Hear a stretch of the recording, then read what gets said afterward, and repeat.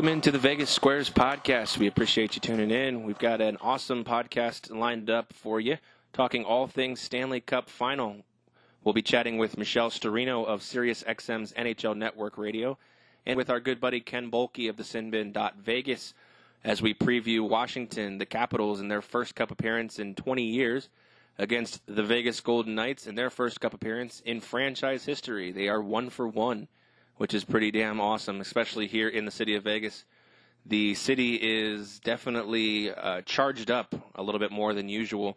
Um, as far as you know, excited. You know, the fan base is ready to go. Monday can't get here soon enough, and uh, you know, we're going to talk about it here on this podcast. We are brought to you by Forward Mile. You can catch them at forwardmile.com.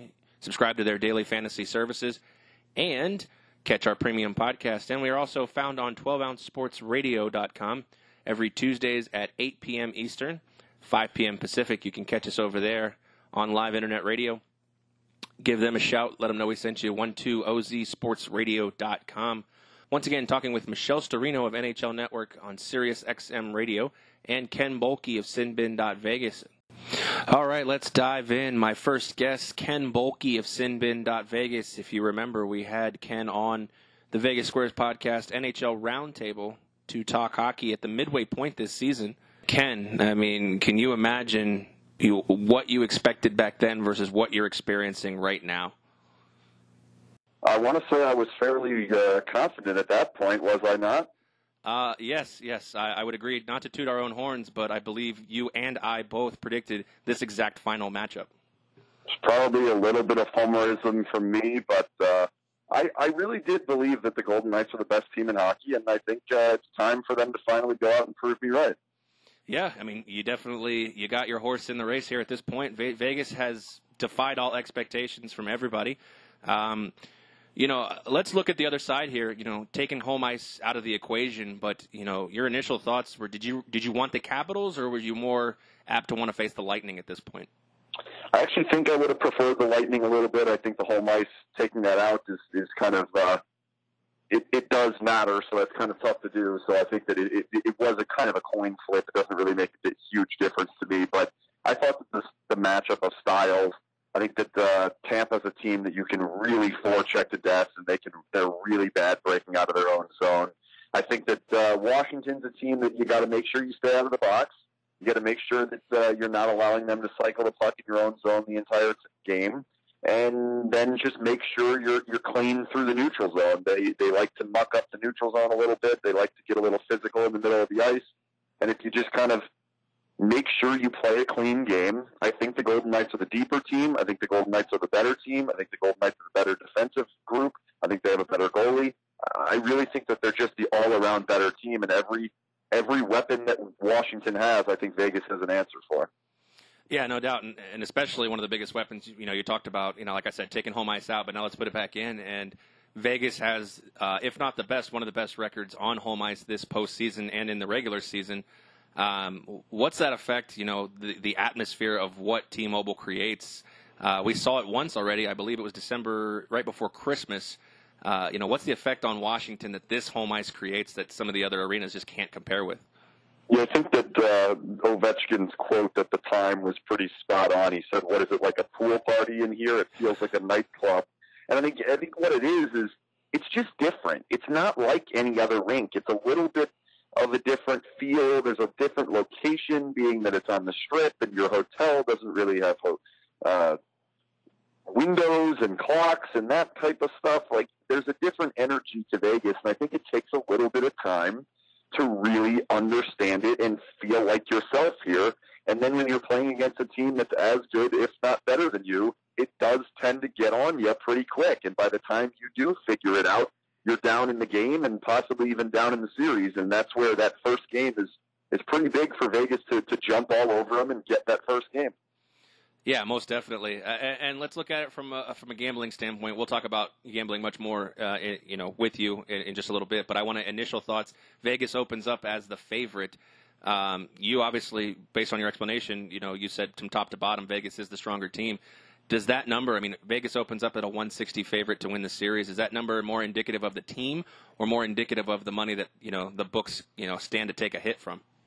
I think it's it's it's probably a bit of both. I think that you're probably going to get a little bit more Vegas money, and that's they they tend to not be uh, too upset with getting a little bit more money on the on the favorite. That's that's kind of the way that books tend to lean when when it's money line numbers. So I don't think that's the end of the world for them. But I think the number's pretty close. I would say Vegas should be a little higher in that, but the, the way these series go and, and the way hockey goes is one funky goal, one bad game, one, you know, Marchessault skating through the blue line and getting a game stolen. It can change a series that possibly could be a sweep into something that could be six, seven games. And if you get to a seventh game, you really never know. So right. number's pretty close. I mean, I would probably lean towards taking Vegas on that number. I, I think I'd probably get a little hesitant around 200, 210, 220, somewhere around there. But at 160, I think the number. Fair enough. Yeah, I mean, I definitely can see, you know, money going in on both sides. You know, but uh, as the more Vegas goes up, you're right. You know, that that number gets higher and higher. You, you get a little worried, but it's the same time you feel you feel confident that you have the better team. Um, you talked about Ovechkin. You know, will you feel any shed of sadness if Vegas denies him the cup? Oh, of course not. why would I? Feel, why would I feel such a thing? I don't. You know, I didn't feel for anyone. The guy just has been in the league for 15 years, and it's his first. You know, it, it's just you know, it, it's you know, you feel for the guy, but you know, at the same time, you're right. There's no, there's no shed of bad, you know, any kind of feelings that I'm going to have, you know, of sadness for Ovechkin if he. If I was just curious if you know any part of you you, know, would would appeal to the fact that the guy's been in the league for 15 years and just you know finally gets over the hump, and now it's a team that you know, of destiny, so to speak. If they were playing any other team, I might feel a shred of that. But he got past the he got past the Penguins. He got into the Stanley Cup final. Like I feel no no bad feelings or anything if he doesn't get his Stanley Cup win. I I'm I'm kind of hoping that the other side uh, they need a Stanley Cup win too. Yeah, most definitely. And, and, let's talk about the guys in the in the locker room over at City National Arena. I mean, what's the vibe been like you know, this week and you know, heading into this weekend, which uh, you know, what, what's what's the what's the vibe been like? You've been you've been next to these guys. What is what's the locker room been like with uh, with the Knights? Like it's been all year. It's it's almost unbelievable that there there really haven't been ups and downs in the locker room. There hasn't been any moment where there's been strife or there's been some sort of argument in the locker room. We've seen nothing. They're the same guys the entire time, whether it was game five when they were on their little run to begin the season and shocking the world, or game 50 when, you know, they get into first place or so, and, or now, like Western Conference Finals, it was 1-1 uh, in the room, and they're saying the same things, they're acting the same way, they're, they're just a consistent team, and to see it still be that way on the brink of playing in, in the biggest games of their lives, and there being their four wins away from being immortalized on the greatest trophy in sports. It's it's pretty wild. Now, now you're absolutely right. I mean, they, you know, that's that's the thing they have to have is the is the the the sense of a of a of a calm presence and, and being status quo. You know, who are the guys in the locker room that have played in the cup? Obviously, we know Flower, but who are those guys that they look to for leadership and and the experience? And if they have questions about you know this kind of time, you know, who are the guys that you know, guys like Nate Schmidt, who are the guys that he looks to for advice or guidance how to handle this? To my knowledge, the only other guy that's that's been in a Cup final is is James Neal. I mean, Brad Hunt was on the Predators last year, but he, you know he's a healthy scratch the entire way. So I believe it's just those two. But I, I don't think they need to necessarily look to anyone because I don't think it's all that different. They they have the same mentality. Their coach is telling them the same thing. The the the locker room is acting the same way. The practices are the same way. The fan base is the same thing. Like there's really not a huge difference. They've dealt with a lot. They've been a team in the media spotlight the entire season. You know, they went through the game where they played Pittsburgh here, or then the game Pittsburgh was there. They had the opener in Dallas. They had the opener at home on, on October 10th. They've been in the spotlight. This isn't going to be too much different from what they're used to.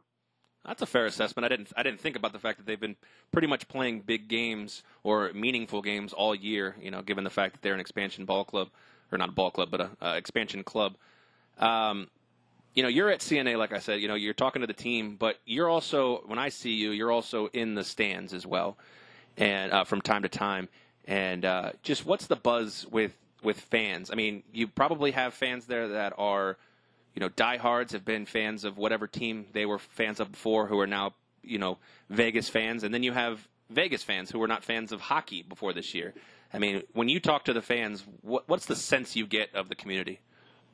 It's just it's it's turned into like almost a college town where when you when you walk around uh, a place like let's say Ann Arbor or mm-hmm. where I went to school, Columbia, Missouri. Like not that it's the same level, but the idea is that you have to know what's going on. You don't necessarily have to be a sports fan. You don't necessarily have to know the rules of hockey or the who is on the fourth line or the backup goalie or whatever. But you've got to kind of have an idea of when the next game is, what's at stake, what they're playing for, what's going on. And I think that you're seeing people that are getting to experience practice and games and the speed of hockey and the sounds of hockey and unfortunately at sometimes the smells of hockey that uh it, it's it's really special for a lot of people, and I think that the, the their ability to leave these practices open and to allow a lot of different people to experience the game through the glass and within four rows of a team that's about to possibly become the best story in sports history and the best team in hockey. It's it's it's pretty unbelievable, and I think that it's it's really allowed a lot of people to have experiences that you don't necessarily get in a lot of other hockey markets. Yeah, most definitely. Ken, on a personal level, who's more tense, you or your wife? Ooh, that's a tough one.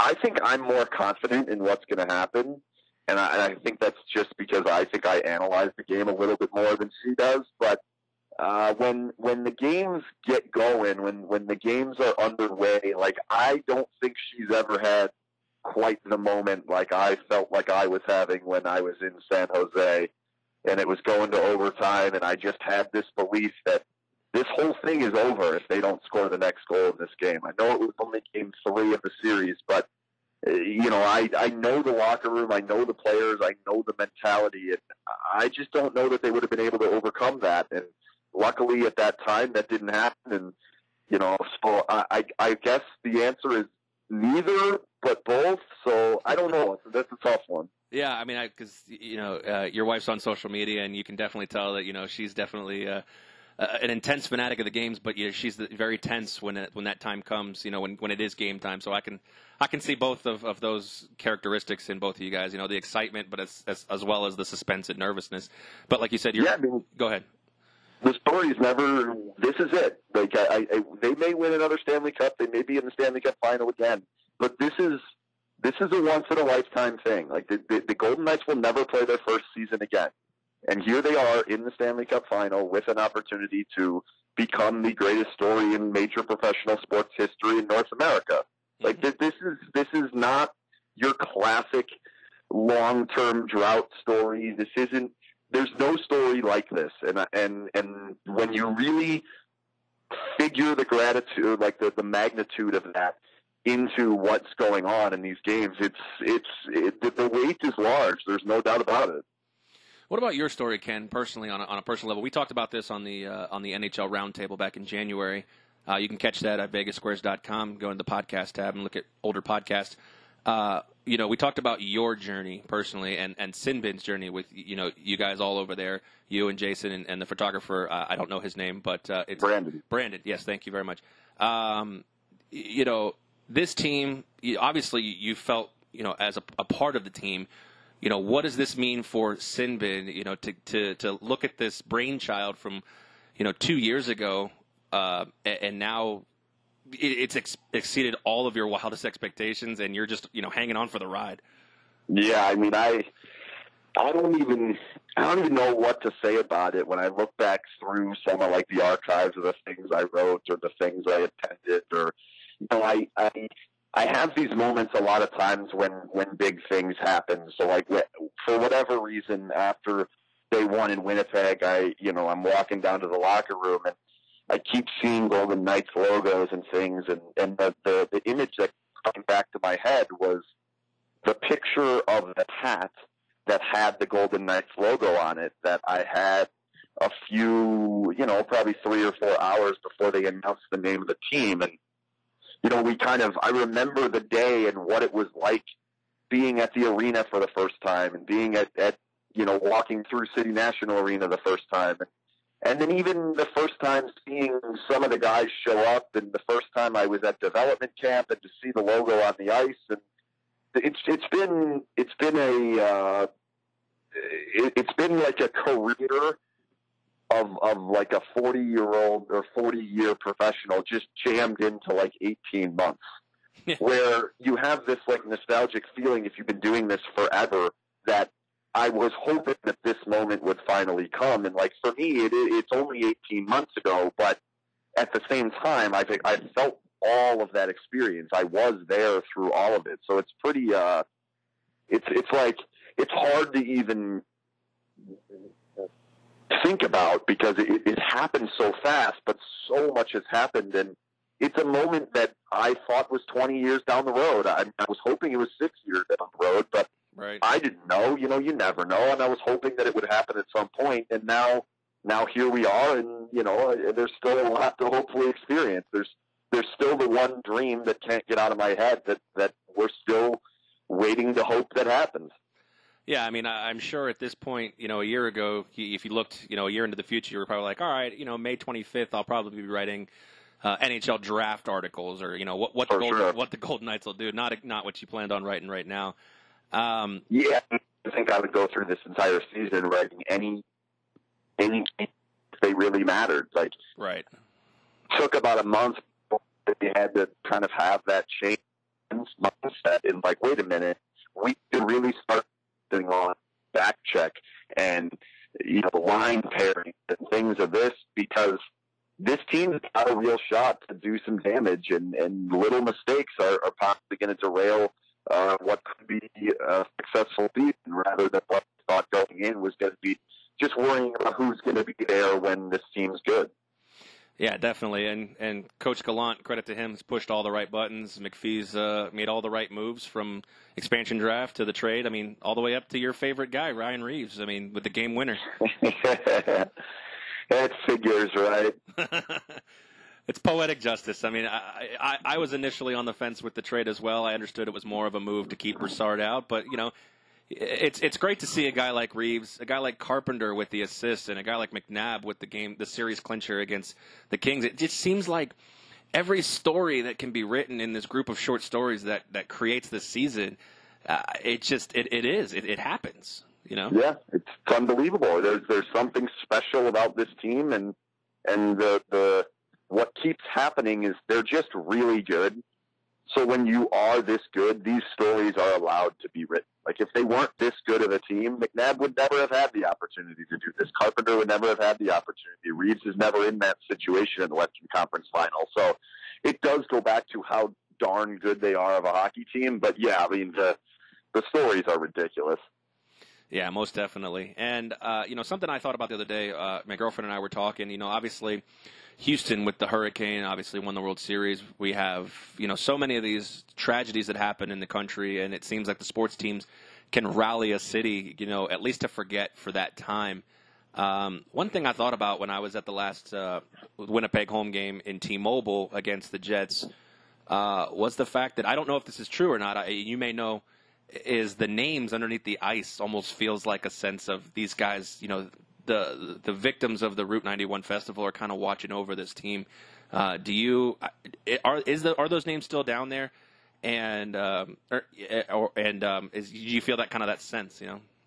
Well, the names of the victims of that tragedy are in the rafters on oh, the excuse band. me, you're right. The rafters, the season ticket holders so, are on the ice. Yes. Yeah, and the season ticket holders are under the ice. I, but I, I think that the thing that's most amazing to me is you have a, a hockey player coming out onto the ice and, and the, the overreaching message that he delivered in, in that speech, Deryk Engelland's speech that day was, whatever this team can do to help the city heal, they will do.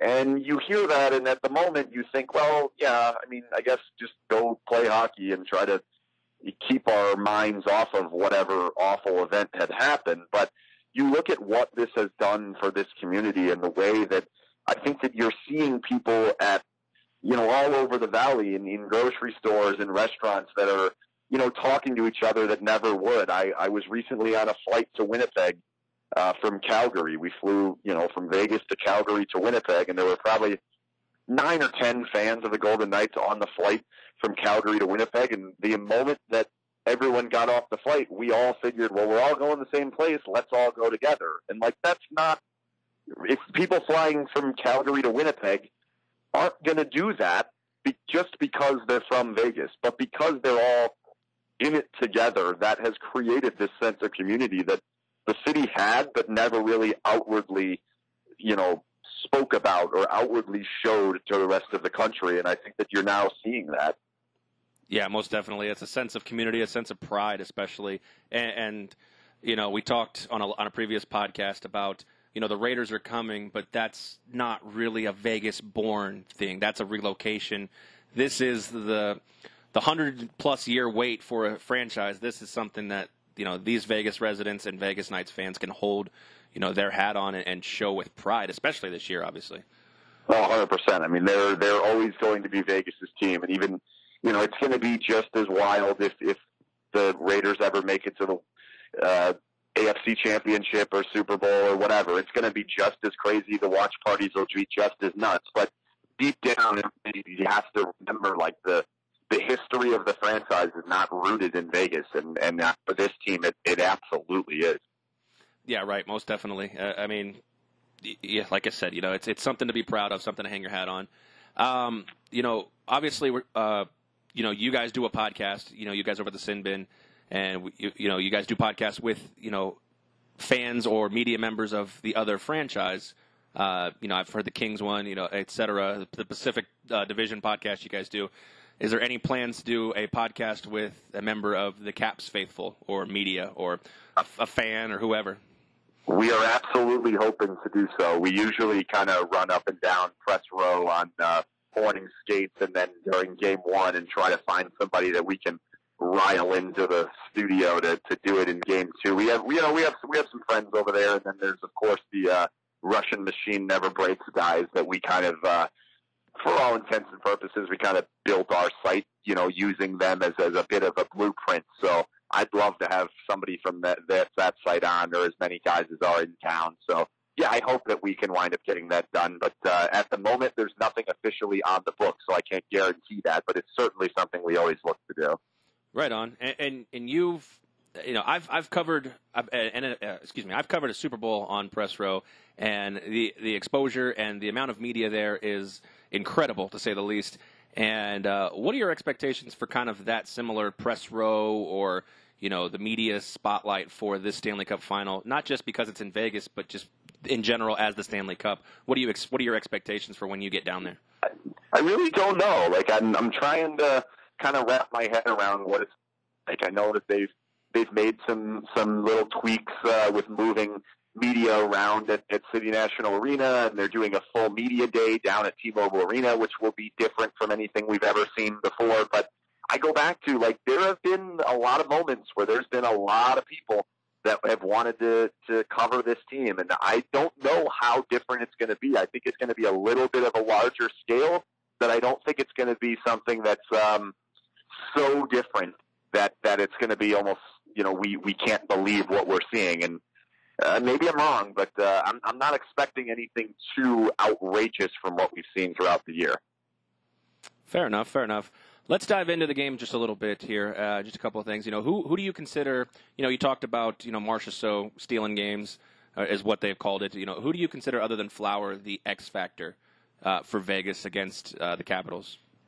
I think it's it's the two best groups on the team. I, I think I think that the Golden Knights top line is kind of going to be the difference in this series. I, I I really just don't think that a top line of Ovechkin, Kuznetsov, and Tom Wilson can stay with the Golden Knights top line all over the ice. Like, yeah, they're going to be good offensively and they'll do their thing. And, you know, Karlsson, Marchessault, and Smith have to be good slowing them down in the, in the defensive zone. But when the puck's in the neutral zone or in the Golden Knights zone, it's going to really be dangerous for that Washington top line. And if they can make things happen like I think that they will be able to do and like they were able to do in the two the phase two teams played before, I think it's going to be a, a series where you look back and think, man, that top line was really just fantastic. And I think that's what it's been all season long, and that will continue. And then the other one would be Nate Schmidt and Brayden McNabb.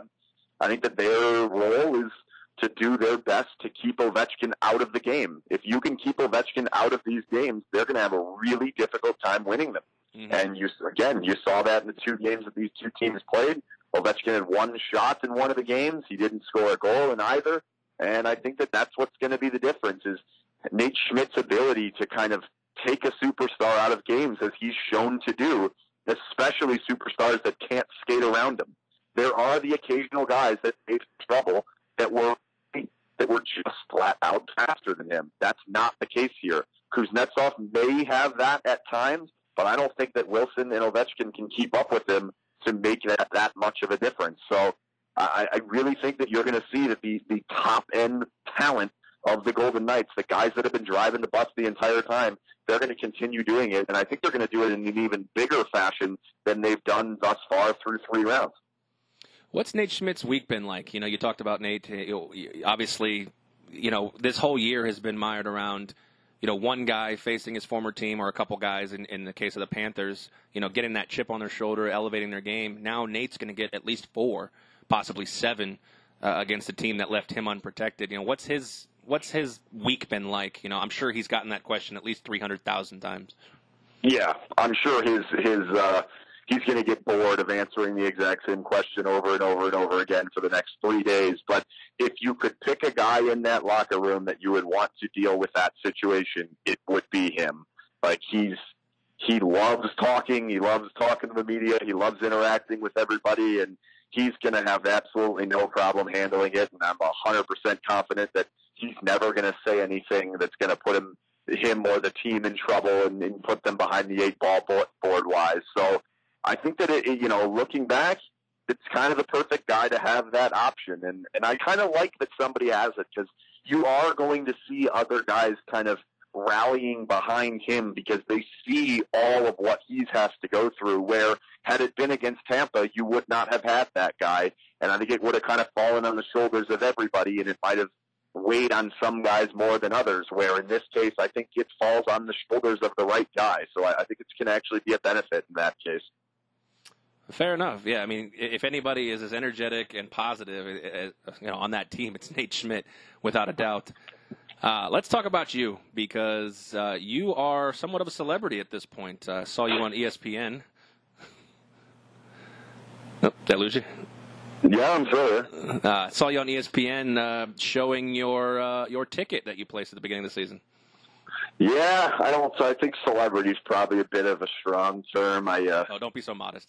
I don't know about that. I'm still cleaning up dog pee about four times a day, so I wouldn't go that far yet. But uh, yeah, I placed the bet uh, to a five dollar ticket at a hundred to one, and it was honestly supposed to be a souvenir. It wasn't. It wasn't supposed to. You know, I didn't look at the odds and think, "Ooh, a hundred to one. They've got a better chance of winning than that." Like, no I thought I was going to buy a five dollar ticket every single year until they won. And that one that won at probably eight to one would be a cool one to have and worth forty bucks, and it would be paying off some of the old ones. But no, it was really supposed to be just a, a shadow box type deal, and now it's turning into a lot bigger of a deal. But uh, I, I don't know. I don't, I don't know. Maybe I won't even cash it. I think it'd be even a cooler story if I didn't cash it.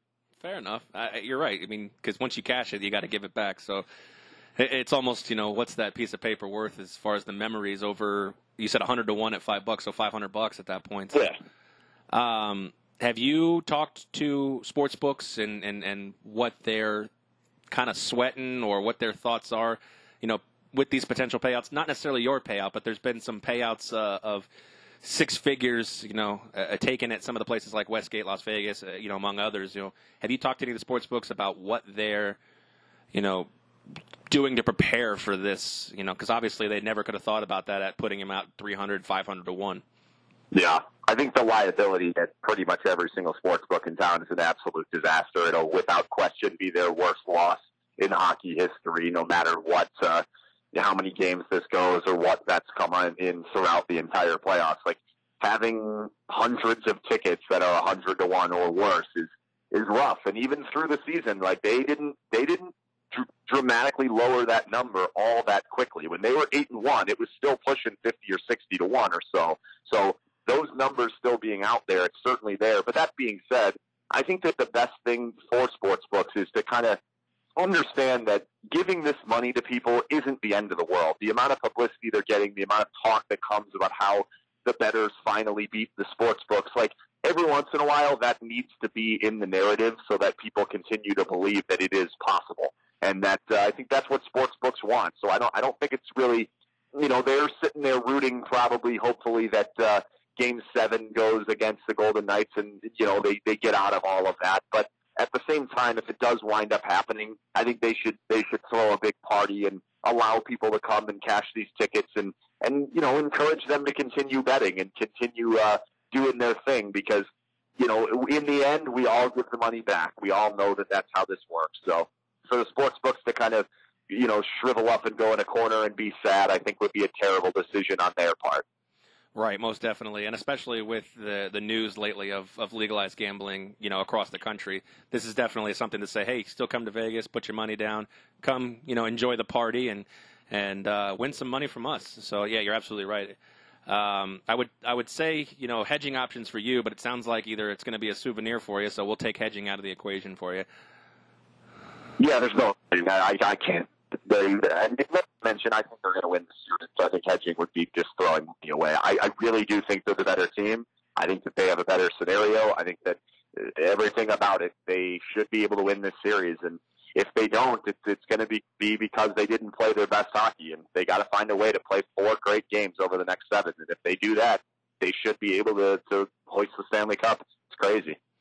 All right, so prediction time. Knights in uh, my official prediction has been five. Uh, I, I, I think that at some point they're they're going to stub their toe in a game here or there. I don't I don't know how that'll necessarily happen, but I think they're going to control a majority of the games. I think they're going to be the better team in a majority of the games that you're watching, and I don't think it's going to be a terribly long series. I actually think this is the second easiest series that the Golden Knights will have faced in this postseason. I think that this team uh, it matches up better with the Capitals than they did with the Sharks, and I think it's much better matchup than they were with the Jets. So I, I really think if they were able to dispatch those teams in five and six, there's no reason they can't do this one in four or five.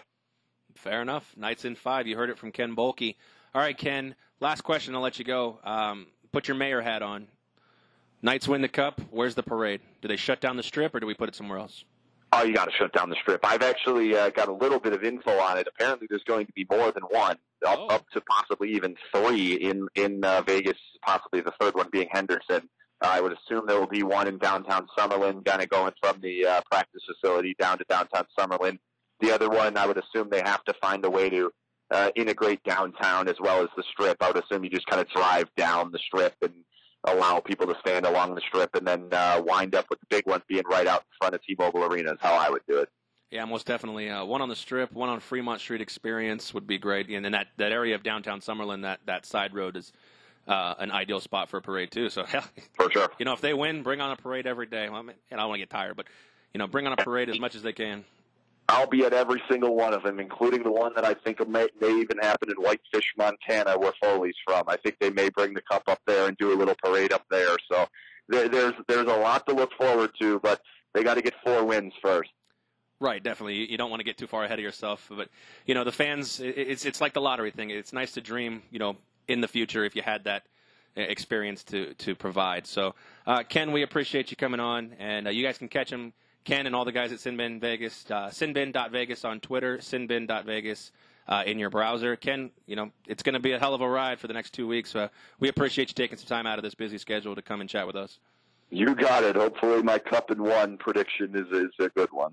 Yeah, the T-shirts definitely seem to be very uh, topical, topical at this point. so, all right, thanks, Ken. We appreciate it. You got it. All right, take care. All right, without further ado, my next guest, Michelle Sturino of Sirius XM's NHL Network Radio Channel 91 show is Ice Cap. Michelle, thank you so much for joining us on the podcast.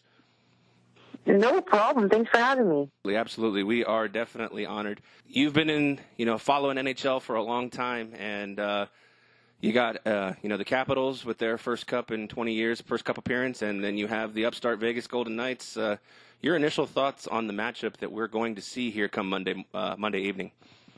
Well, first of all, it's I don't think anybody could have written this or anybody really predicted it at the beginning of the season, let alone the beginning of the postseason. I know I definitely did not. Um, I'm very happy for someone like Alexander Ovechkin finally getting a shot to, you know, make it to the dance, essentially. Um, he's obviously waited a long time, and I just feel around the Capitals team, he's different. You know, uh, listening to him a lot, uh, you know, either in preview or post game uh, clips, he just sounds like a completely different player, and I think that's kind of coming across in terms of the rest of the team. It's just this renewed confidence, this calm, relaxed uh, nature about him, where the pressure isn't really there anymore. So it's for me, it's really nice to see him do this. And then finally, you know, it will kind of like cement his legacy if he were to win. Vegas, on the other hand, was a phenomenal story. I mean, it's the greatest sports story this year for sure. And I think it's honestly, I mean, we're they're four wins away from being the best hockey story of all time. And uh, it's funny on social media, a lot of people. Obviously, the miracle, and I, I understand 1980. I get uh, how big that was. However, I mean, being an inaugural team and uh, such underdogs and coming together and doing what they've been able to do, it, it's just a, such a phenomenal story. Plus, you add the whole idea of that they were essentially cast-offs, even though, you know, grand scheme, you know, the salary cap kind of did this in the first place. But uh, I mean, it's just a phenomenal story. Both sides are so great, and they're coming at it from completely different directions. Yet the one thing that definitely they have in common, and which we'll, we will see for the first time, and I think it's seven seasons, is that we're going to have a team winning the Stanley Cup for the first time in their franchise history. So um, either way, it's a really cool story from both sides, even though they're both uh, vastly different. Yeah, uh, most definitely. And you touched on uh, and you touched on Ovechkin there, and in your first part of, of your answer. And uh, you know, my my thoughts initially, and, I'll I'll ask you is, once he got over the Pittsburgh hump, it, it, just seemed like, you know, now he's like I can do anything. I mean, what are your what, is that what you're kind of saying when the pressure's off? Yeah, yeah, and you know, and it's just funny that not only is it Pittsburgh, but it's also congruent with the second round. So I don't know if would people be saying the same thing if he beat Pittsburgh in the first round? No, because what if he ended up losing in the second round? You know what I mean? I just kind of feel like it was uh, both. You know, the fact that it was past the second round, which he he had never been, and it was the Pittsburgh Penguins as well. On top of the fact that it's Sidney Crosby, the person he gets compared to uh, the most in his entire career. So mm-hmm. the thing that you know to me with Ovi is that we could put these comparisons between him and Sid to bed. Like, I don't really think there is a comparison. They're two vastly different players, uh, both putting up, you know, amazing amounts of points for, uh, you know, their time in the league, which is identical, but they lead differently. They play different styles. They just see the ice differently. I mean, and they're both going, going to have their legacies in NHL lore forever. So, um, yeah, but I think you are right to an extent as well. It's just once they got past Pittsburgh and the fact that it was a second round, uh, getting past the second round, it was kind of like killing two birds with one stone. And now, you know, kind of who cares? And it's just interesting because, you know, now they're four wins away from winning it all. And essentially, you know, how could they not be, uh, you know, the favorites in this whole situation, right? I mean, they clearly have, you know, more experience in terms of uh, just, I don't know, players being, obviously being together and going through thick and thin, him and Backstrom and right. uh, John Carlson, you know, Braden Holtby, so on and so forth. But I just kind of feel like they still have a little bit of an edge because – uh, Vegas is truly the number one underdog story, really, of all time. I don't know. I, I think it's just a remarkable story. Yeah, absolutely. As far as team continuity, I mean, obviously Vegas has no comparison to the Caps. yeah. Uh, Vegas right now doesn't see it that way. Vegas is is, uh, is, is has their home team as the favorite. Uh, I personally think it's it's because of what we'll talk about later is the the sports book's chance of, of losing a lot of money. I think they're trying to get it back on the other side. But uh, let's talk about VGK there. I mean, you know, you were around, you know, talking about the, the, the predictions after the uh, expansion draft and before this season.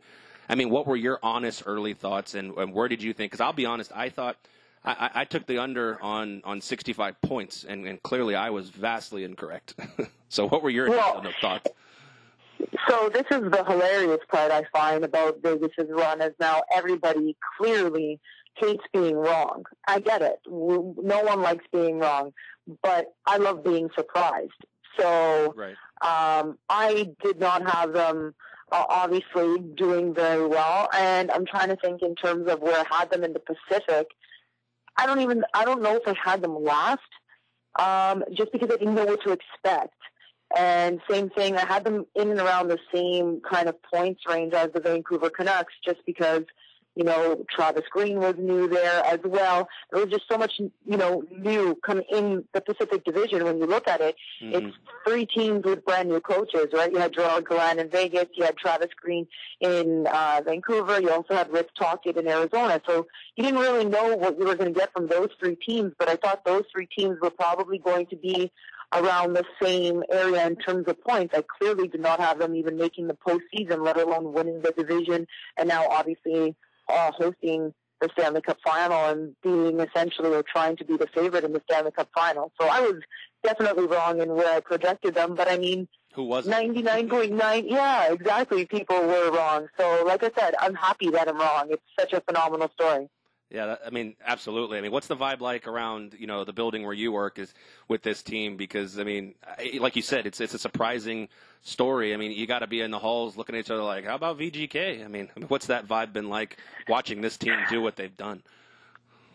You know what? And it's not like they've been squeaking out wins. Yes, uh, Marc Andre Fleury has four shutouts so far throughout the postseason, and uh, they have gotten I would say, I kind of want to say, especially against San Jose, because uh, the sweep of the Kings was no joke. The Kings couldn't even put up any offense against them. Mm-hmm. Uh, even I think a lot of people were completely surprised in the fact that they, you know, took down Winnipeg in five. I know I was really surprised at the fact that they could beat them in five.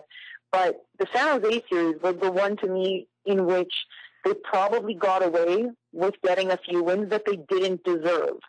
Um, and that series really could have gone either way if San Jose would have taken one of those two games in which they played them. Um, but Marc Andre Fleury, you know, stood on his head, and he's been really a huge part of their success story. But it's not the, uh, I don't want to say the entire success story so far this postseason. Obviously, he's been a, a very big part um, of why they've been super successful. But um, yeah, I just think it's the fact that the surprising part that we all keep saying is we just can't believe how well they've been able to execute versus, you know, and get other teams out of their game and out of their style. And to me, like I said, the most shocking was against the Winnipeg Jets.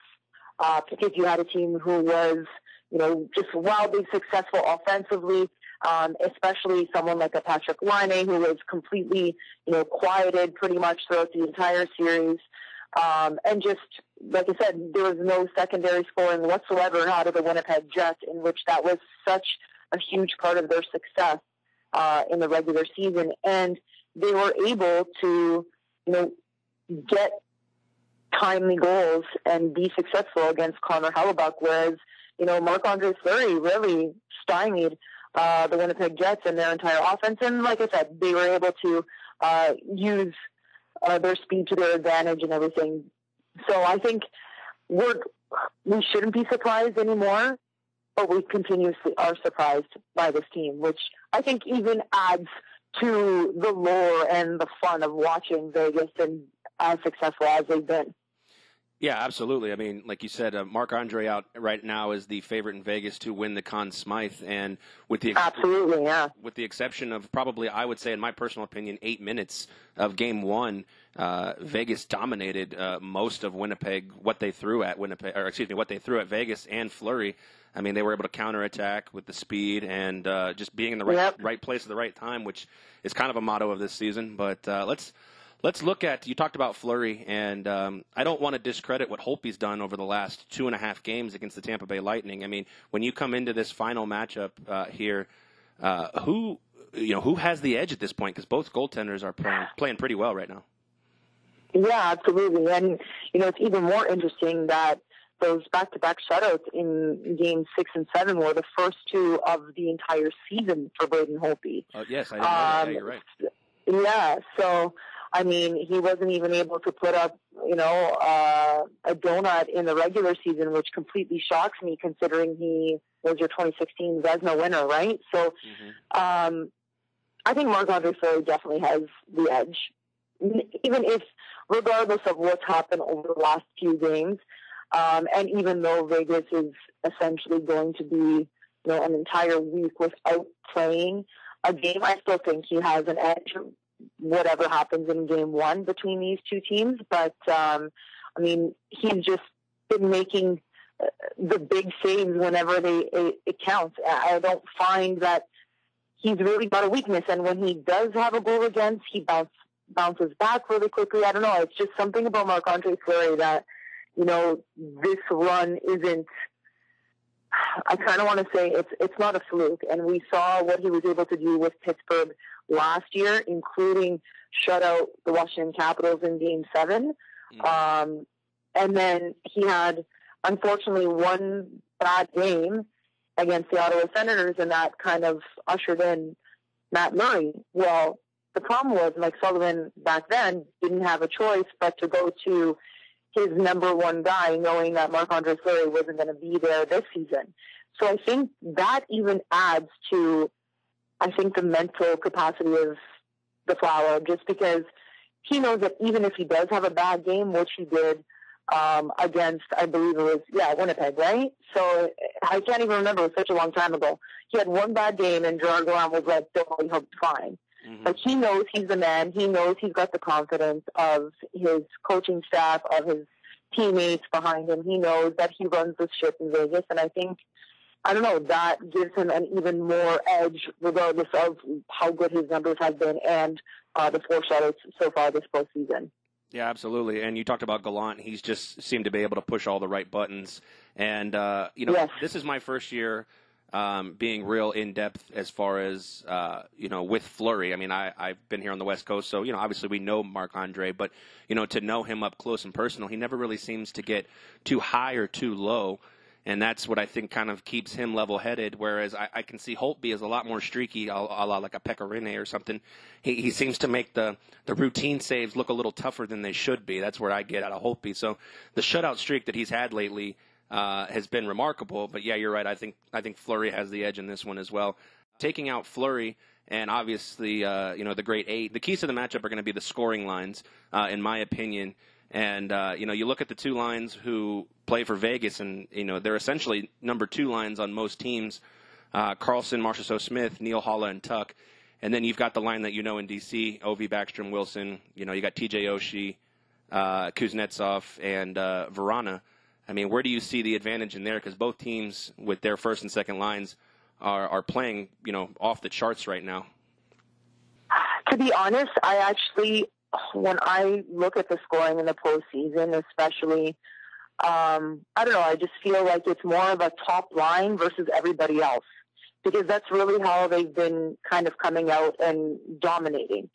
So, you know, we've seen, especially in the Winnipeg series, uh, that top line Marchessault had two hell of a you know hockey games uh, in which you know he scored a pair in both, uh, driving up in that Lamborghini, you know, with the Vegas decal. yeah. uh, I wouldn't be surprised if he shows up game one doing the exact same thing because I th- I believe now.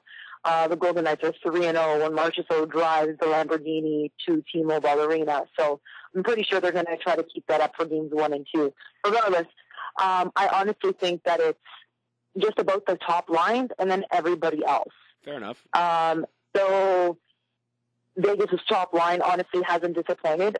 I think um, Riley Smith, people would want to see him score a little bit more as well, but he's up there in terms of the assist leaders in the postseason too. So I mean, he's still getting on the score sheet regardless of the fact that he only has two, I believe, goals this postseason.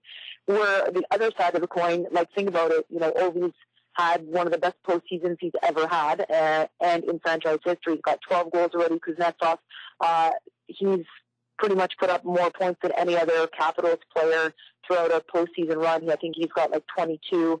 Um, so that top line has been doing what they've been able to do. And then it's like I said, it's pretty much just everybody else. So when you get Oshie chiming in, when you get uh, you have Devante Smith probably score the game winner in uh, game 6 mm-hmm. You know, you have uh, Jakub Vrana chipping in here and there, and then of course to me, the catalyst for a lot of it is John Carlson uh, for the Capitals, and he makes a lot of things happen, whether it's his breakouts or his lead passes or just being the quarterback on the power play.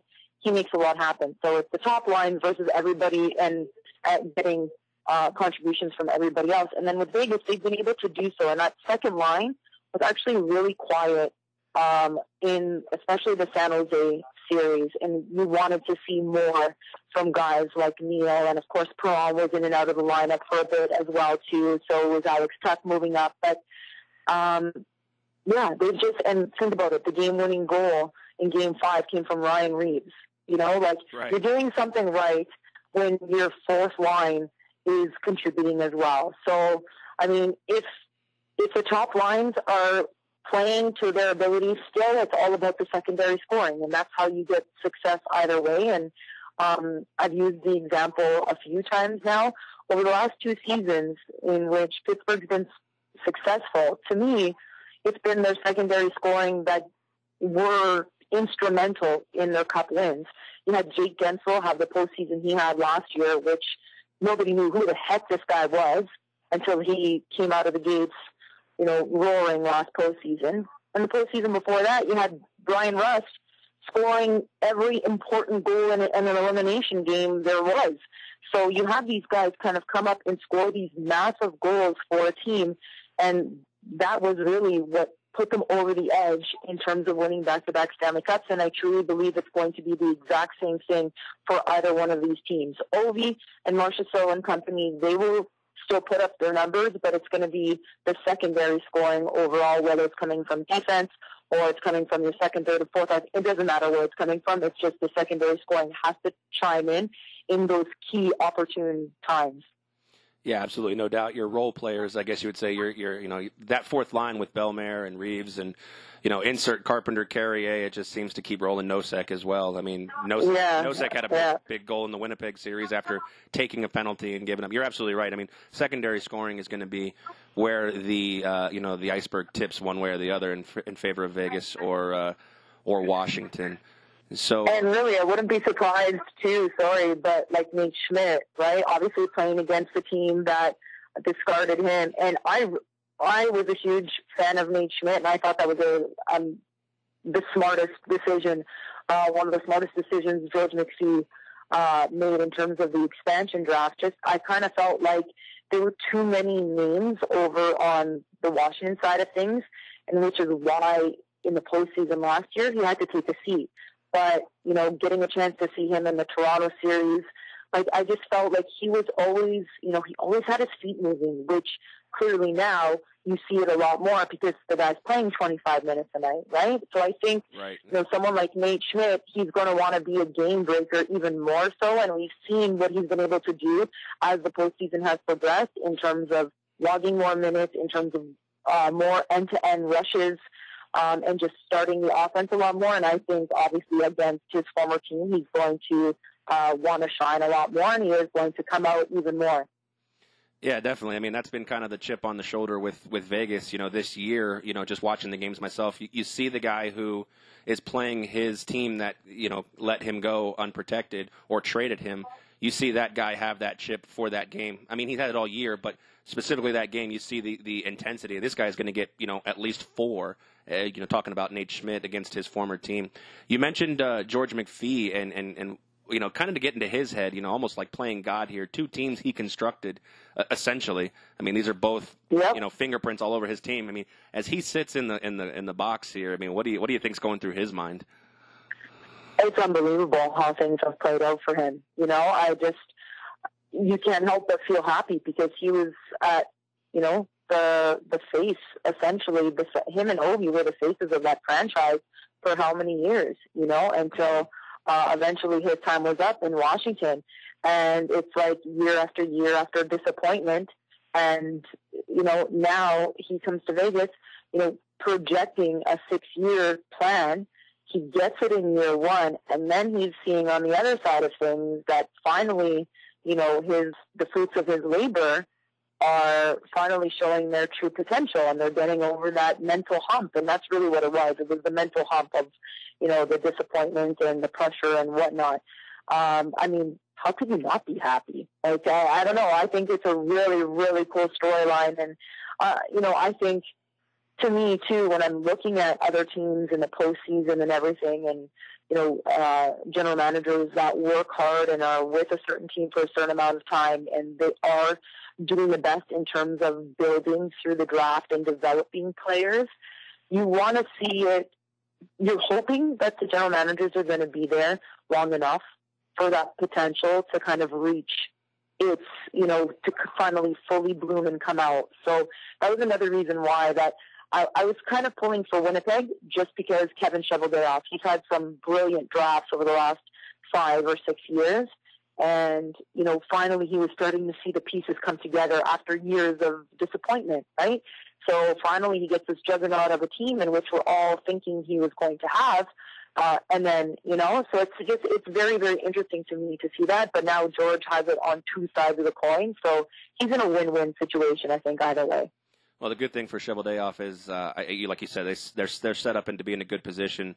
Uh, as well as Vegas, you know, that could become, you know, an interesting rivalry uh, going forward in the postseason. So uh, you know, def- absolutely, definitely nothing for Cheveldayoff to be you know upset about. You know, he just ran into the you know the hot steamboat at that point. I think you play that series, yep. you know, you know, ten times in a row, uh, you could have five series wins for both teams. So I don't think uh, Winnipeg has anything to sulk about. Uh, you know, going forward, uh, the future of that team. Um, you know, speaking of that, you know, I see on social media, you know, and I've I've heard some of the radio stations and, and, and NHL Network, and it, some are saying that this could be bad for the NHL. Your thoughts? If Vegas wins the cup, I guess I should preface that. So listen, I guess what people are thinking. I mean, it, to me, okay, the obvious things are if you win it all in season one, there's nowhere to go but down. That's right? fair. That's fair. So the that that to me is the only true fair assumption out of all this in terms of why it could potentially be bad for the NHL because I don't really think they think it's going to be bad for the NHL. It's more so bad for the market market of Las Vegas because how you are not going to truly test your fan base until I don't know maybe three four years down the road, right? So you, I, to me, that would be the only alarming kind of thing um, in terms of why it would be bad for the NHL. And then a lot of people are thinking, well, in no other sport could you do this and, you know, comprise a team and then have them go to the Stanley Cup. Listen, so if this is how you're looking at it, first of all, you're seeing things glass half empty. And okay. the reason why I say that is in a lot of other professional sports, there aren't, there isn't a cap. It's a luxury tax, right? So players, you can sign players for oodles of millions of dollars, right? There's a cap for a reason, which is why uh, general managers had to make these tough decisions in the first place, right? Mm. So that's number one. You can't you can't discredit the fact that the NHL is different compared to other major sports leagues and the fact that it has a hard cap. Um, so that's the first reason why this was even able to happen, right? Right. Um, another thing is it's like you, you're trying to grow the game, obviously, and you want to do it as best as possible. And clearly, um, everybody in and around, you know, Vegas loves this team, and obviously it helps when you win. Uh, in terms of expansion and maybe, oh, well, good luck to Seattle. I think Seattle as well, there's roots in hockey already. Okay. And the reason why I say that is because you've got WHL teams that are already out there. You know, you also do have the proximity of, you know, Canada and Vancouver giving them a little bit more of a fan base as well. You know, so even though, I, and creating that rivalry already. So, I mean, it's going to suck for Seattle because I'm pretty sure this isn't going to happen ever again. Um, so that could be another reason why people are maybe taking this a little bit more on the negative side of things. Um, but honestly, I mean, in the grand scheme, it's still having to put out on the ice, you know, you're still having, you know, 23, 24, whatever, 25 guys all out there um, and coaching and everything having to come together perfectly for a team to win a Stanley Cup. End of story. Like, you know what I mean? I, I just, to me, to kind of rain on that parade is just silly. Like, why can't we look at this for all the positives uh, that it gives us? The fact that, you know, when you, uh, teamwork, teamwork is always going to trump anything or anyone who decides to be an individual. Why don't you look at the fact that, you know, if you work hard and you never give up, you are going to be successful. And a lot of these guys probably thought to themselves, oh well i don't know it's you know the either the twilight of my career i'm not really gonna you know they were given a second chance opportunity right so to me i like to see all the positive things that come out of uh, this Vegas storyline, not all the potential negatives. And like I said, to me, the only worrisome part would be testing a fan base that's brand new to a sport. That's it. Because once you've hit that pinnacle of reaching the Stanley Cup final and potentially winning the Stanley Cup, where do you have to go from there? It's very hard to maintain that status quo, right? If you won it all already, yeah, how do you maintain that status quo? It's pretty impossible.